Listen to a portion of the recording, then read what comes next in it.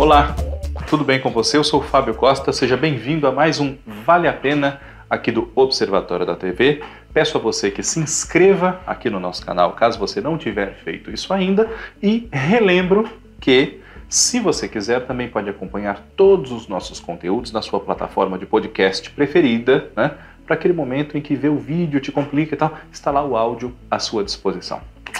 Na semana que vem, na terça-feira, dia 21, o BBB Big Brother Brasil, na sua edição já de número 20, vai estrear na tela da Globo e no Globoplay, no pay-per-view para quem assina, enfim. Né? E, por isso, nós resolvemos nesta semana tratar aqui no Vale a Pena do grande eh, diretor, da grande figura que está por trás do BBB nas 20 edições do programa, Boninho. Ele é o responsável por este grande sucesso que o programa alcança na TV Globo desde 2002, não é? São 20 edições, mas não são 20 anos. Isso falaremos né, constantemente ao longo dessa cobertura do BBB, que já se inicia, portanto, né? E Boninho, como o próprio nome diz, né, ele tem esse apelido não é à toa. O pai dele é uma das figuras mais importantes da televisão brasileira de todos os tempos, Boni. José Bonifácio de Oliveira Sobrinho, que por mais de 30 anos foi uma figura uh, de comando né, da alta direção da TV Globo e ajudou, sem dúvida, a emissora a ser aquilo que ela é. Né? Boninho é filho de Boni, se chama José Bonifácio Brasil de Oliveira e nasceu em 4 de novembro de 1961. Né? Portanto, antes da TV Globo, que é de 1965, mas o pai dele já trabalhava com televisão e com publicidade a essa altura, nos anos 60. Né? É, ainda muito jovem, antes dos 20 anos de idade, Boninho até pela própria convivência com o pai, com os amigos próximos, com todas aquelas figuras do meio artístico e executivo de televisão, acabou se relacionando com comunicação desde muito cedo. Né? Então, já em 1978, há o registro de que Boninho trabalhou na Rádio Excelsior, que hoje não existe mais, né? pelo menos não com esse nome. E nos anos 80 ingressou na Rádio Globo, trabalhou na Rádio Globo durante alguns anos e a partir de 1984 uh, eh, iniciou mais decisivamente, vamos dizer assim, a sua carreira na televisão, dirigindo um programa musical na TV Globo chamado Clip Clip. Inicialmente, o Clip Clip ia ao ar aos domingos, no decorrer do tempo mudou de dia e foi para os sábados, sempre à tarde, mais ou menos nessa faixa que hoje nós temos a reprise do Sai de Baixo, da escolinha do professor Raimundo, ou Só Toca Top, né, ali na, pela hora do almoço. E o clipe, clipe consistia, claro, em apresentações de clips, né, de, de números musicais, especialmente internacionais. Uh, não custa lembrar que nós estamos falando dos anos 80, quando não havia MTV no Brasil, não havia internet, então o contato do grande público com todas as novidades de música, de cinema, era diferente e mais demorado. Né? Nós demorávamos a receber as grandes novidades do mercado não só aqui, mas pelo mundo todo, né? Então, os números musicais e os videoclipes propriamente ditos eram exibidos, uh, alguns com exclusividade, né, pelo Clip Clip, que era dirigido pelo Boninho. E os apresentadores desse programa, ao menos no seu período inicial, foram dois bonecos, né? o Mukirana Jones e o Edgar Ganta. Esses dois bonecos foram algumas das criações da dupla criadora do grupo 100 Modos, 100 como o número 100, né, e não de 100 de não haver, né? Luiz Ferrer e Marco Dornelles, salvo engano meu, né? E depois eles teriam outra parceria muito importante com o Boninho, da qual já falaremos, né?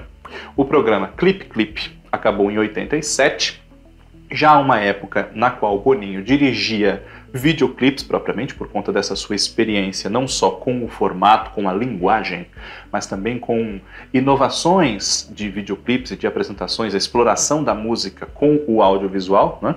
E é, aproveitou, uh, pelo contato que ele tinha com tudo que se fazia de mais recente pelo mundo em termos de videoclipe, ele, nos anos 80 para 90, dirigiu diversos videoclipes, especialmente de conjuntos de rock aqui no Brasil, né, como Titãs, o cantor Lobão, Capital Inicial, RPM, né, especialmente expoentes do nosso rock daquela ocasião. Alguns desses clipes foram exibidos no Fantástico, né? mas nem todos. Alguns, Boninho foi diretor de, de videoclipes para os próprios artistas, não necessariamente feitos para exibição na TV Globo. Embora, relembramos uma vez mais, não havia MTV, que aqui no Brasil só se instalou em 1990 na parceria que foi feita com o grupo Abril. Mas essa é uma história para um outro encontro nosso aqui no canal. Pois bem, no começo dos anos 90, Boninho foi um dos principais responsáveis pela criação e pelo estabelecimento de um canal pago de muito sucesso nesses aí quase 30 anos de operações, o Multishow da Globosat. Né? Boninho foi um dos idealizadores do formato, do propósito do canal, que, claro, se adaptou um pouco com o tempo, mas sempre teve como objetivo oferecer uma variada gama de opções de entretenimento, cinema, séries, programas de música, programas de entrevista, enfim, variedades de um modo geral para os assinantes dos canais Globosat e o Multishow, está aí até hoje, é um case de sucesso podemos dizer assim. Né? Em 1993, retomamos então com o grupo Sem Modos, junto com Boninho, num dos grandes sucessos da década, não só no gênero de programas infanto-juvenis, mas de um modo geral, podemos dizer. Não é? A minha geração, que nasceu nos anos 80, se lembra com carinho da TV Colosso. Né? E bonecos como o Mukirana Jones e o Edgar Ganta, embora todos cachorros, né? eles foram os apresentadores e os animadores ali, os funcionários, todo o corpo de funcionários da TV Colosso, que era uma emissora de televisão comandada por cães. Né? É um programa do qual eu me lembro com muito carinho e as pessoas que giram pela minha idade seguramente também, se não todas, na sua maioria. Né? Boninho embora ainda jovem, já tinha uma carreira estabelecida e de bastante sucesso na televisão, que prosseguiu com diversos programas especialmente direcionados ao público infanto-juvenil, como os comandados por Angélica, né? desde o seu ingresso na TV Globo em 1996, Angel Mix, Caça Talentos, uh, Bambu Luar, Flora Encantada, a TV Globinho, uh, Estrelas, o programa que ela apresentou por vários anos de entrevistas nas tardes de sábado, né? Ponto a Ponto, que era um, um, game show das tardes de domingo em 1996, mesma época da estreia do Angel Mix, né?